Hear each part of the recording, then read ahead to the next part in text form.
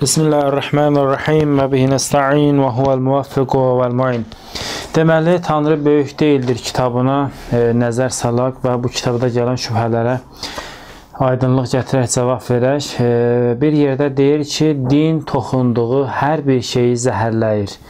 Din öldürür, din insanları necə də böyük vəhşiliklərə sürükləyir. Hesab edirəm ki, din səbəb olduğu əzablardan məsul ola bilər və buna görə də məsuliyyət daşımalıdır. İlk növbədə bunu deyək ki, bu deyir ki, din toxunduğu hər bir şeyi zəhərləyir və din öldürür, hər bir şeyi öldürür. Cavab olaraq deməliyik ki, bütün dinləri deyirsiniz, yoxsa bir dənə dindən danışırsınız? Əgər bütün dinləri deyirsinizsə, biz sizdən soruşuruq. Yəni siz bütün dinlərin buyurduqları ilə, bütün dinlərin demək əmrləri ilə, nəhiləri ilə, bütün dinlərin e, izahları ilə, bəyanı ilə, maarifi ilə siz tanışsınız. Yəni bütün dinlərdən xəbəriniz var. Bütün dinlərdən xəbəriniz var ki, onların sözləri, gətirdiyi, gətirdiyi əmrlər, nəhilər insanları məsum eləyir və ümumiyyətlə dünyada olan bu bəşəriyyətin neçə faizini e, zəhərləmişdir din? Din zəhərləmişdir. Neçə faizini din öldürmüşdür? Əgər bir nəfər gedib mütaliə eləyib və bu qənaətə gəlibsə, axı bu bir nəfərin sözü nətər ola bilər, bütün insanlar üçün höccət ola bilər. E, siz ateistlər hamınız bütün dinləri mütaliə eləmisiniz, bütün dinlərdən tam dəqiqliyi ilə xəbəriniz var ya yoxdur? Əgər e, burada sizin e, iddianız bütün dinlərə aiddirsə, bu bir iddiadır ki, e, bu bunun heç bir dəlili yoxdur, sübutu yoxdur və sizin cavabınız bu ola bilər ki, bütün dinlərlə tanışlığımız yoxdur, ancaq onu bilirik ki, zəhərləyir. Bu söz də düzgün söz deyil, bu iddia düzgün iddia deyil. Çünki xəbərin olmadan nətərsən, nəyə əsasən deyirsən ki, bütün dinləri, bütün dinlər insanları, bəşəriyyəti zəhərləyir, bütün dinlər öldürür, bütün dinlər insanları böyük vəhşiliklərə sürükləyir. Yox, burada dindən məqsəd bir dənə din məqsəd nəzərində tutmusansa, əgər xristiansa, yəhudilikdirsə, Bizim bununla işimiz yox. Çünki bunlar təhrif olmuş dinlərdir. Bunlar heç indi hal-hazırda olan, mövcud olan dinlər, bunlar e, demək Yahudilidir, Xristiyandır. Bunlar təhrif olunub. Yox, əgər məqsəd İslam dinidirsə, e, biz İslam dininin göstərişi ilə, İslam dininin məsləhəti ilə bu şübhənizə cavab veririk. Yəni, sizin şübhəniz demək belədirsə, siz əgər deyirsiniz ki, İslam dini toxunduğu hər bir şeyi zəhərləyir. İslam dini hər bir şeyi öldürür. İslam dini insanları necə də böyük vəhşiliklərə sürükləyir. Əgər iddianız budursa, onda biz buna belə cavab veririk. Əvvəl gəlib e, dini belə deyək də dinin e, məsləhəti ilə, yəni e, dinimiz buna hansı aspektdən yanaşır və necə cavab verir? Cahili xəbərdar eləmək cəhətindən məsələyə e, demək ki, qarışırıq və Sizə belə cavab veririk ki, e, sizi biz danlamırıq, çünki sizin İslamdan xəbəriniz yoxdur. İslam dininə siz cahilsiz, zəhil var sizdə bilmirsiniz, xəbəriniz yoxdur e, və biz bunu sübut da eləyə bilərik. Yəni istənilən əhkamdan, əxlaqdan, dinə, İslam dininə aid bəhslərdən sizə sual verərik və özünüz də görərsiniz ki, həqiqətən də İslam dinindən, İslam dinindən xəbəriniz yoxdur. Ona görə biz addım-addım sizi əvvəl İslam dini ilə tanış edirik, ondan sonra suallarımız olacaq. Baxın, İslam dinində əsas üç dənə mühüm e, məsələ var. Birinci etiqadiyyatdır, yəni etiqadat etiqadi məsələlər. İkincisi əmaldır, yəni əməllər, insanların əməlləri. Üçüncüsü də ki, əxlaqdır, əxlaq bölməsi.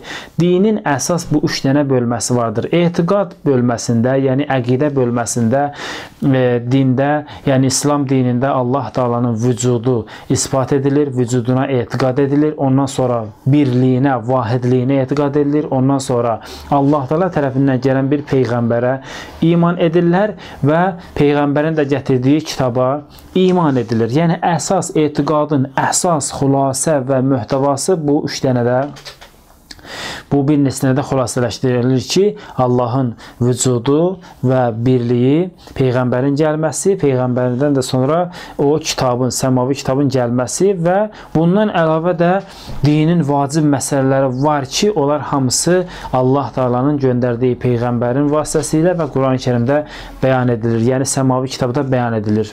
Bu etiqadi bölmə. Keçirik ikinci bölmə. İkinci bölmə həmin əməl bölməsi, bölməsidir ki, əməl bölməsində dində bir sıra vacib əməllər var və bir sıra əməllər də vardır ki, onlar haram adı ilə demək, e, yəni insanlar onlar o əməllərdən nəhy edilir. Vacib əməllər o əməllərdir ki, insan onları yerinə yetirməlidir. Məsəl üçün namaz qılmaq, ibadət demək, oruc tutmaq, e, iqtisadi bölmədə xumus vermək, zəkat vermək və bu cür əməllər ki, e, bu Allah tərəfindən insanlara vacib edilir ki, insanlar bunu ödəsinlər. Məsəl üçün xumusu, zəkatı, e, yəni o insanın əlində olan mal dövlət ki var, zəkatın da özünün o vacib edildiyi yerlər ki var. Bunlar hamısı ayrı, fəqir, füqara və digər insanın öz demək cəmiyyətində yaşadığı insanlara əl tutması və bu cürə yardım da belə deyək, yəni e, yardım kimi dində vacib edilir və bundan başqa da həcc mərasimi və bu cürə vacib əməllər var ki, insanlar bunu yerinə yetirməlidir.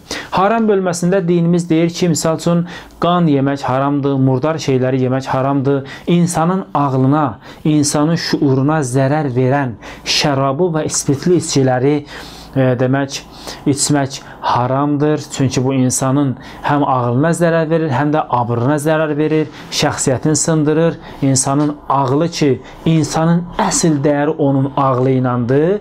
Yəni dəli insana heç kəs dəyər vermir. Əsas dəyər insanın ağlı iləndir. Yəni ağıl olmayan yerdə insanın artıq cəmiyyətdə qiymətdə qiyməti düşür, yəni dəyərdən düşür. Ona görə də həmin şərab insanın ağlını aradan aparır, din bununla mübarizə edir və bu cürə çirkin əməllər, çirkin işləri ki, din buna qadağa qoymuşdur. Üçüncü bölmədə əxlaq bölməsidir. Yəni istər insanın fərdi həyatında, istərsə də ictimai həyatında, yəni öz özlüyündə və digərlərinə münasibətdə demək e, əxlaqi məsələlərə riayət eləməlidir.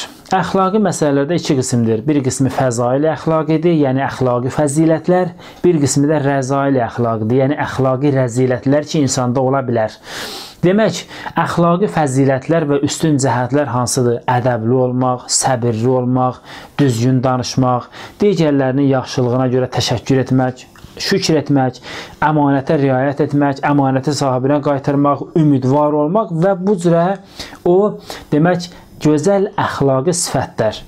Rəzail əxlaqı nədir? Əxlaqi rəzilətlər təkəbbürlü olmaq, insan özünü lovğalıq lovğa aparsın, özünü bəyənsin, başqalarını aşağı gözlə baxsın, yaxud da riyakarlıq, məsələn, biri birinə yaxşılıq eləyirsə, riyakarlıq göstərsin, söyüş söymək, söz gəzdirmək, insanların bir-birinin arasını vurmaq, qəzəb eləmək, qəzəblənib insan öz həddini aşıb başqalarına zərər yetirmək, həsəd aparmaq, qeybət eləmək, digərlərinin ardınca danışmaq, şəhvətpərəstlik, qarınpərəstlik, digərlərini məsxərə eləmək, ələ salmaq, acı dil olmaq, yalan danışmaq, əmanətə xəyanət eləmək və bu cürə çirkin əxlaqi sifətlər. Bu da dinin üçüncü bölməsidir ki, əxlaqi fəzilətlərə din dəvət eləyir. Demək, əxlaqi rəzilətlər ki var, e, demək din onları rədd edir. Yəni insana deyir ki, sən birin özünə cəlb eləməlisən, birin özündən uzaqlaşdırmalısan. Siz deyirsiniz ki, din insanları zəhərləyir, din insanları öldürür. Bizim sizə sualımız var. Baxın, İslam dinindən söhbət gedirsə, bu dediklərimizin hansı zəhərləyir? Yəni bu dediklərimizin gətir, sübutla, dəlillə istəyirik. Boş xəyal üzərində qurulmuş iddia lazım deyil. Elm əsridir, 21-ci əsr elm əsridir. Biz iddia istəmirik, biz dəlil istəyirik, sübut istəyirik. Sizin nəzərinizcə sizin nəzərinizcə e, burada e, bu deyilənlərin hansı e, insanları e, zəhərləyir və hansı insanları öldürür? Dində əxlaq bölməsində e, hüquq məsələsi də var. E, insanın e, deyək ki, qardaşlıq haqqı, yəni qardaşının e, boynunda olan haqqı, qardaşın bunun boynunda haqqı, bacının haqqı, qonşunun haqqı, valideynin hüquqları, ailə hüququ, ustad, müəllim və şagird hüquqları, yəni bunların qarşılıqlı hüquqları. Əxlaqın bir bölməsi buna aiddir. E, insanın lap bu fərdi yaşayışında insanın paltarının təmiz olması, bədəninin təmiz olması, səliqə, sahman və bu cürə əxlaqi nəzm-intizam ki, insanın o e, dinində e, belə deyək də əxlaq bölməsinə aid olan məsələlərdir. İndi biz sizdən e, demək soruşuruq ki, e, bax bu deyilənlərlə istər etiqadi bölmədə, istər əməl bölməsində, istərsə də bu əxlaq bölməsində, yəni dinin əsas möhtəvası bu üç dənədə sığışır da, bu üç dənədə yerləşir. Biz sizdən soruşuruq ki, bu insanların neçə faizi, nə qədər bunlarla zəhərlənmişdir və e, öldürülmüşdür. Siz iddia edirsiniz ki, din insanları zəhərləyir və din insanları öldürür. Əgər sırf iddiadırsa, yəni əgər sözünüz təkcə iddiadırsa, onda biz də bir iddia eləyə bilərik. Biz də iddia eləyə bilərik ki, ateistlik insanları zəhərləyir, ateistlik insanları məhv edir, ateistlik heç nədir və e, insanları əbədi həlakətə aparır. Biz də belə bir iddia eləyirik və bunun üçün dəlilimiz də var. Siz burada ki deyirsiniz ki, din insanları zəhərləyir, din insanları öldürür. Burada məqsəd zəhərləməkdə məqsəd cismanidir yoxsa mənəvi? Yəni cismən zəhərləyir. Məsəl üçün biri zəhər içir ölür. Belə zəhərləyir həyatına son qoyur. Əgər bunu demək istəyirsinizsə, bu yalandır. Çünki biz baxırıq görürük ki, möminlər, e, dinə etiqad edənlər də sizin kimi yaşayırlar, yeyirlər, içirlər, istirahət eləyirlər, yatırlar, dururlar, öz işlərinin dalıncadır. Yox, məqsəd ruhani və mənəvidirsə, yəni mənəviyyat baxımından zəhərlənirlərsə, e, biz sizdən soruşuruq, o möminlərin sizlərlə nə fərqi var? Siz hansı nailiyyətləri əldə eləyibsiz ki, möminlər dindar olduqlarına görə ondan məhrum olublar? Sizin hansı kəşfiniz, hansı inkişafınız varsa, hansı tərəqqiniz var ki, möminlər dindar olduğuna görə o tərəqqidən qalıblar? Sizin hansı e, uğurunuz var ki, möminlər dinə görə o uğurdan məhrum olublar? Nə cəhətdən, nə fərqiniz var? Möminlərin sizdən nə fərqi var? Mənəviyyat baxımından möminlər daha da rahatdılar. Yəni burada əgər mənəvi e, mənəviyyat zəhərlənməyi varsa, burada heç də e, siz onlardan qabaqda deyilsiniz. Möminlərin etiqad etdiyi, iman gətirdiyi peyğəmbər buyurur ki, beşikdən qəlb qəbr evinə qədər elm əldə eləyin. Bu dinin tövsiyəsidir. Din deyir ki, elm öyrən. İndi müsəlmanlar əməl eləmirlərsə, müsəlmanlar tənbəllik eləyirlərsə, bu ayrı bir söhbətdir. Bunun dinlə əlaqəsi yoxdur. Biz sizdən soruşuruq ki, din ki, e, o əxlaq bölməsində ki, biz dedik ki, doğru danışmaq, düz, düz danışmaq, əmanətə riayət eləmək, təşəkkür etmək, ümidvar olmaq və bu cürə səbir, səbirli olmaq, ədəbli olmaq ki, din buna tövsiyə edir. Bunlar yaxşıdır ya pisdir? Əgər desəz ki, yaxşıdır, onda bəs nə üçün deyirsiniz ki, din insanları zəhərləyir? Bunlar elə dinin göstərişləridir. Əgər desəz pisdir, Onda belə çıxır ki, düz danışmaq, ondan sonra əmanətə riayət eləmək və bu cürə gözəl şeylər sizin nəzərinizdə pisdir. İndi bilmirəm, əgər buna pis deyirsinizsə və həqiqətən də elə pis deyirsiniz, çünki din bunu deyir. Və burada bir dənə məsələ var. Onu demək istəyirəm ki, elə həqiqətən də sizin dindən xəbəriniz yoxdur Quran-ı Kərimdə e, gələn tövsiyələr də bu e, bütün bu qeyd edilənlər, əxlaqi gözəlliklər hamısı Quran-ı Kərimdə gözəl gələn gözəlliklərdir. Biz sizdən soruşuruq e, qəzəblənib həddini aşmaq, yalan danışmaq, ikiyüzlülük, e, riyakarlıq, təkəbbürlülük, lovğalıq, söz gəzdirmək, nə bilim, acıdil olmaq, həsəd aparmaq, başqalarının gözü götürməməzlik, bunlar hamısı Bunlar hamısı yaxşıdır ya pisdir? Əgər desəz pisdir, Bəs nə üçün deyirsiniz ki, din insanları zəhərləyir? Çünki elə din də bunları deyir. İslam dini də bunları deyir. Deyir ki, bunlardan çəkinin, bunlardan e, uzaq olun. Bu əxlaqi rəzilətlərdən, çirkin əxlaqdan, pis əxlaqdan uzaq olun. Əgər desəz yaxşıdır, onda demək ikiyüzlülükdür, ondan sonra riyakarlıqdır. Bunlar sizin nəzərinizdə yaxşı hesab edilirsə da biz sizin ağlınıza nə deyək? Sən bir ateist olaraq əgər yaxşı ilə pisi ayırd eləyə bilmirsənsə, yaxşıya pis-pisə yaxşı deyirsənsə da biz nə deyək sənə?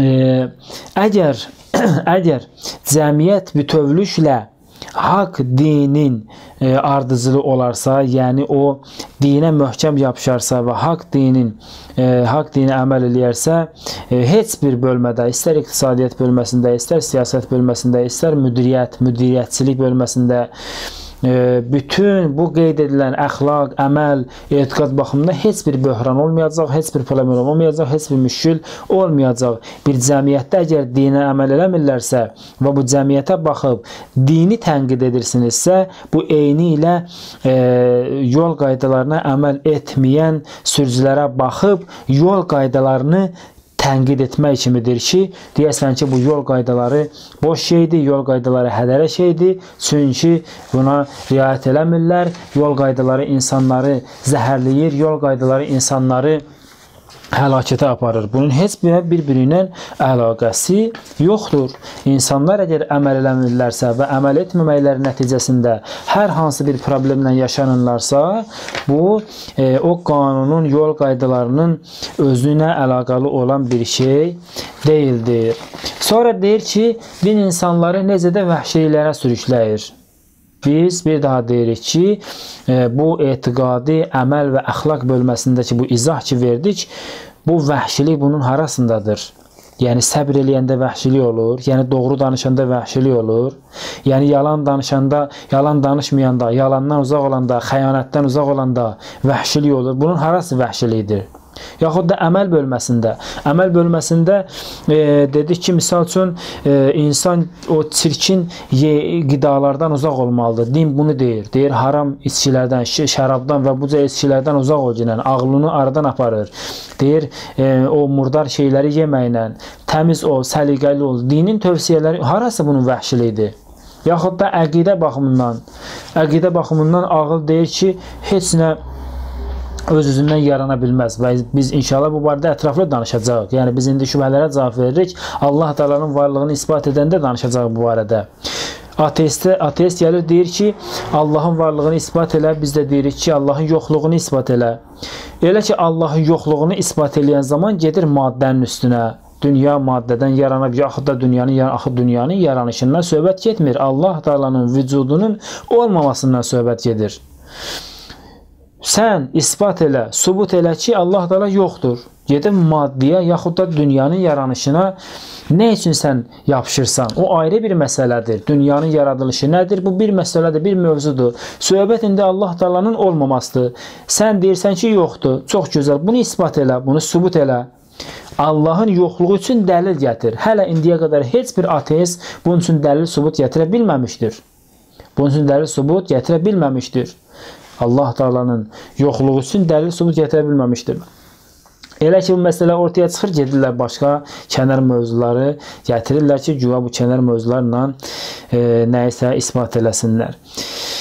E, əgər e, bir, bir də bunu deyək ki, bu e, din mövzusunda Yahudilik e, və e, Yahudi və Sionizmin, Sionizmin belə deyək də o e, gətirdiyi e, dindən bunlar danışırlarsa, İngiltərənin müsəlman cəmiyyətlərində, müsəlman ölkələrində e, təbliğ etdiyi, yaydığı dindən danışırlarsa, bəli, o dində zəhərlənmə var, o dində e, qətl var, ölüm var. Çünki o Allah Taala tərəfindən gələn İslam deyil, Əl-Qaidə, IŞİD və bu cürə terrorçu hərəkatlar ki var, terror təşkilatları ki var, bunlar İslamdan ziddir. Biz İslamda təhlükəsizlik məsələsinə baxanda, e, İslamda əminamanlıq məsələsinə baxanda baxıb görürük ki, büsbütün e, demək təhlükəsiz bir dindir, təhlükəsizliyə, əminamanlığa dəvət edən, əmr edən bir dindir və heç bir vəhşilik yoxdur. E, demək e, sülh dinidir.